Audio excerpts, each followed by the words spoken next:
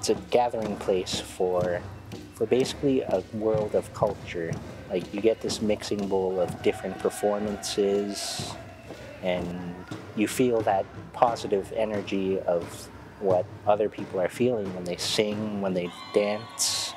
It becomes a part of you when you when you start to get into it, and it also feels natural. Like you have a bunch of different people from all over coming down, celebrating, having a good time, meeting new people, friends, family. It's a gathering place. It's like a it's like a knife really. You once it's super sharp you get the feel of everything and it, it's like that with carving as well. So once you start dancing, singing, howling like a wolf, it's it's all natural like like a sharp knife going through a piece of wood.